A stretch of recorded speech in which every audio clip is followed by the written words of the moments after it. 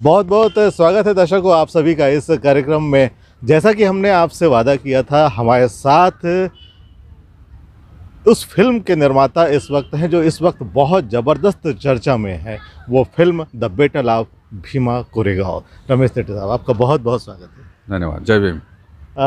इस कार्यक्रम की खास बात ये है कि आपके दर्शक लगातार मुझे मैसेज कर कर के हमेशा से ये कह रहे हैं कि वो आपकी बात सुनना चाहते हैं जी, जी। और जो आपकी सहायता करना चाहते हैं। ये एक पहली बार ऐसा हम देख पा रहे हैं कि कोई व्यक्ति जब अम्बेडकरी व्यक्ति जब काम करने के लिए सामने आया तो पूरा समाज उसकी सहायता के लिए यूँ लगा हुआ है कि हम सब सहायता करना चाहते हैं।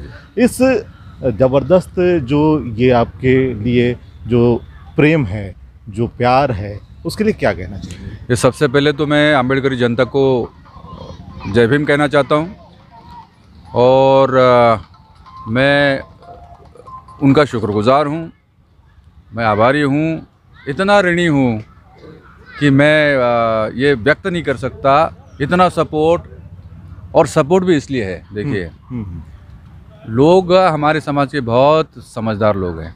वो जानते हैं क्या सही है क्या गलत है। हम्म, हम्म, कौन सच्चा आदमी है कौन झूठा आदमी है कौन अपने अपने व्यक्तिगत स्वार्थ के लिए करता है हम्म। और कौन समाज की लड़ाई लड़ता है। लोग जानते हैं।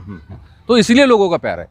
नहीं वाकई ये जो प्यार हम देख रहे हैं और लगातार मैसेज आ रहे हैं कि हम आपकी आर्थिक सहायता भी करना चाहते हैं और फ़िल्म को लेकर तो बहुत ज़बरदस्त क्रेज है। सभी इंतज़ार कर रहे हैं कि कब ये फ़िल्म आएगी कब ये रिलीज़ होगी। देखिए मैं मुझे भी व्यक्तिगत रूप से लोगों ने मैसेजेस किए कि सर हम कुछ आर्थिक मदद करना चाहते हैं। हम्म। आपको जब भी लगे आप मुझे बताना। देखिए ये कितना बड़ा प्यार है। जी जी जी। ये ये कितना विश्वास है। ये कितना बड़ा विश्वास है। हम्म। आज लोग पाँच रुपए का चंदा देने के लिए दो बार सोचते हैं। वाकई वाकई। अभी चूँकि उन्होंने ये ये देखिए ये सबूत है। हम्म, हम्म, है ना ये एविडेंस है कि भाई इस आदमी ने अगर एक गाना बाबा साहब की फ़िल्म को समर्पित एक गाना अगर पंद्रह लाख लोग एक दिन में देखते हैं तो ये छोटी चीज़ नहीं है। छोटी चीज़ नहीं है। ना हमारे आम्बेडकरी आंदोलन के लिए बहुत बड़ी चीज़ है और चूँकि इसमें क्वालिटी है इसलिए लोगों ने देखा है। है ना हमारी स्ट्रेटेजी है हमने जो कास्टिंग किया है इसमें वो स्ट्रेटेजी के साथ में किया है। कि कैसे ये फ़िल्म इंटरनेशनल हो? बाबा साहब का विचार इंडिया में ही सीमित नहीं रखना हमको इंटरनेशनल तो ये फ़िल्म इंटरनेशनल है। और चूँकि ये सोशियो वॉर फ़िल्म है तो इसको मतलब ये आम्बेडकरी जनता का ये तोहफा है दुनिया के लिए। मैं बता रहा हूँ ये तोहफा है। वाकई। लेकिन एक एक चीज़ जो जैसे ही दो गाने रिलीज़ हुए और दो दो गाने के बीच सिर्फ़ टीजर रिलीज़ हुए हैं और साथ ही जो फ़िल्म का एक पोस्टर रिलीज़ आपने किया है इतने में ही जो स्थिति इस वक्त है वो ऐसा लग रहा है कि जैसे सब बहुत बेसब्री से इंतज़ार कर रहे हैं। रमेश जी ये बताइए कि अभी ये जो फ़िल्म की शूट शूटिंग हो गई है इस फ़िल्म की शूटिंग में जो बहुत बड़े बड़े कलाकार अर्जुन रामपाल जैसे और सनी लियोनी जैसे भी। कलाकारों ने आपके साथ काम किया है। ये बताएँ कि कैसा रहा आपका अनुभव इनके साथ में काम करते हुए खास तौर से जब आप भीमा कोरेगांव जैसे उस ऐसे गंभीर विषय पर और ऐतिहासिक विषय पर काम कर रहे उनका काम शानदार रहा। हर एक कलाकार मज़ा हुआ कलाकार है इन लोगों को क्या क्या कहने हैं इनके? मतलब अर्जुन रामपाल तो मतलब उनकी आवाज़ देखो उनकी आवाज़ और मेरी आवाज़ मिलती है देखना हाँ बिल्कुल बिल्कुल। हाँ? मैंने उनके लिए गाना गाया है। और एक सीन में आप नज़र भी आए हाँ। नहीं वो तो ठीक है वो तो वो तो गाने में ना लेकिन मैंने गाना गाया। अर्जुन रामपाल के लिए मैंने गाना गाया। आप वो तो बाहर आया ही नहीं। जी अभी वो जब आएगा तहलका मचेगा मुझे मालूम है। हाँ। तो अर्जुन रामपाल हम्म, देन दिगांगना सूर्यवंशी हम्म, और सनी लेवनी अभी कृष्णा अभिषेक को जोड़ा है जी जी जी। मिलिंद गुनाजी है आ, नामदेव जी है हम्म, हम्म, है ना गोविंद नामदेव जी। गोविंद नामदेव हाँ तो ये बड़े बड़े कलाकार हैं और स्टार कास्ट बड़ी है। जी जी। तो इन्होंने बहुत अच्छे काम किए हैं और बहुत सहयोग दिया उन्होंने मुझे है ना? मैं तो नया था। हम्म, हम्म, यद्यपि मैंने चूँकि एक आई ऑफिसर डायरेक्टर अपने आप होता है by default is a director जी जी जी। है ना? जी जी। लेकिन और मैंने चूँकि मैं म्यूज़िक फ़िल्म में हूँ पच्चीस साल से हूँ तो मुझे मालूम है ये क्षेत्र कैसा है। हम्म, लेकिन एक डायरेक्शन का अनुभव एक मेरे लिए नया अनुभव था। हम्म, मैंने बहुत इसमें तैयारी की थी। आ, जो तैयार लोग हैं उनसे चर्चा की थी उनसे सीखा था और उसके बाद में डायरेक्शन पे मैं आया था लेकिन मेरा अनुभव बहुत अच्छा रहा। दे कोऑपरेटेड विथ मी जी जी। कितने गाने हैं इस फ़िल्म में? बहुत दो ही गाने की टीजर अभी हम देख पा रहे हैं और कितने गाने इसमें पाँच गाने हैं। हम्म, हम्म, सोनू निगम जी श्रेया घोषाल जी हरिहरन जी जावेद अली जी और पांचवा मेरा ऐसे पाँच गाने हैं। ये सारे गाने मैंने लिखे हैं हम्म, हम्म, और अभी तो दो ही टीजर आपको नज़र आएँगे। अब इसमें से तीन बड़े गाने हैं। यानी कि एक गान गाना जो मैंने गाया है वो हम्म। और ये दो गाने जो आप देख रहे हो टीजर ये और दो गाने मोन्टेजेस के हैं। जी। है ना? उसके लिए अल- अलग से शूटिंग करने की ज़रूरत नहीं होती है। हम्म, हम्म, तो ये ऐसे पाँच गाने हैं। पाँचों अपने आप में बड़े बड़े गाने हैं। हम्म। आप देखेंगे आपको मज़ा आएगा। और शानदार काम हुआ है। जी जी जी। हाँ ये आम्बेडकरवादी लोगों की नाक का सवाल है। इसलिए हमने इसमें कोई कॉम्प्रोमाइज़ नहीं किया। कोई कॉम्प्रोमाइज़ नहीं किया और ये जो भव्यता नज़र आती है शूटिंग में भी और गानों में भी हम देखते हैं जब और तमाम सीन्स में भी जो भव्यता नज़र आती है वो वाकई हम देख सकते हैं कि आपने इसमें कहीं कॉम्प्रोमाइज़ नहीं किया है।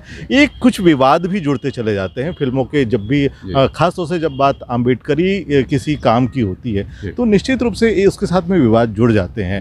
एक विवाद जुड़ा है हाल ही में कहानियों को लेकर आपके कहानी को लेकर स्क्रिप्टिंग को लेकर। इस विवाद का पटाक्षेप भी हो चुका है एक तरह से हम देखें कि उन्होंने माफ़ी भी मांग ली है और एक बार इस तरह से कहते ये विवाद आखिर क्यों जुड़ जाते हैं जब भी हम अम्बेडकरी हम्म। व्यक्ति कोई काम करना चाहता है? देखो एक बात मैं साफ़ कह दूँ हम्म। कि मैं मेरा इतिहास आप देख लिए देख लीजिएगा मैंने किसी पे भी अन्याय की तो बात बात ही छोड़ी आप अगर मेरे पास जो भी बंदा आया ना वो हंस के चला गया। जी। लेकिन जो बंदा मुझे नीचा दिखाने के लिए आया तो फिर मैंने उसको समझाने की कोशिश करी कि भाई साहब ये मतलब ये ग- ये सही नहीं है ये गलत है। आप अपने आप में सुधार लाओ। जी। और कुछ लोग ऐसे थे हम्म। जो ओरिजिनली ऐसे थे उनमें सुधार आया वो अभी भी हमारे साथ में है। हम्म, जो लोग सुधर नहीं पाए और जिनको केवल पैसा चाहिए हम्म, तब आप वो इस तरह की बात कर रहे हैं ठीक है कोई बात नहीं। अब मुझे वो चाहे मुझे गाली दे मुझे बुरा भला कहे इनको कुछ नहीं आता है ये तो आदमी ऐसा है पैसे के लिए करता है समाज को धोखा दे रहा ये अब ये ये एक गिने चुने लोगों ने बोलने से कुछ नहीं होता कुछ नहीं होता है ना? कुछ। नहीं होता। वैसे पूरा जो दर्शक हमारा वर्ग है और पूरे देश के लोग आपके साथ हैं सभी चाहते हैं कि ये फ़िल्म जल्दी से जल्दी रिलीज़ हो। अ, हम इसमें एक बात और जोड़ना चाहेंगे कि हाल ही में अ, जो इसके फ़िल्म के हीरो हैं उनके को लेकर भी एक ड्रग्स का मामला जो आया है जो बहुत दिन से चल रहा है ये भी एक मामला आया है। इससे कोई दिक्कत आई है? कोई फ़िल्म की शूटिंग में कोई परेशानी आई ना ना ना ना कोई परेशानी नहीं आएगी। हम्म। देखिए लगभग अर्जुन रामपाल जी का थोड़ा काम बचा है। जी। लेकिन वो हमने उसमें वो सोच लिया है क्या करना है। हम्म, लेकिन मुझे नहीं लगता कि वो कोई तकलीफ़ आएगी हम्म। है ना? वो हालाँकि वो यद्यपि उनका निजी मामला है मुझे मालूम नहीं। है जी जी। है ना? एनसीबी और ये उनके बीच का मामला है मुझे मालूम नहीं है। हम्म। लेकिन हमें आशा है कि वो इसमें से वो चूँकि उन्होंने मुझे बोला है। हमने पूछा था उनसे कि अरे अपन रमेश जी बोले इसमें कोई तथ्य नहीं है। तो ये मुझे बोला है मुझे मालूम नहीं क्या है वो हम्म, तो जो भी एजेंसियाँ वो- जाने। हाँ, वो तो एजेंसी बहुत बहुत धन्यवाद आपका और दर्शकों हम इस कार्यक्रम के अंत में एक बार फिर आपसे अनुरोध करते हैं कि अगर आपने अभी तक हमारा चैनल सब्सक्राइब नहीं किया तो अभी इसी वक्त कर ले और इस वीडियो को ज़्यादा से ज़्यादा तक लोगों तक पहुंचाएँ। आपका बहुत बहुत धन्यवाद। Thank you.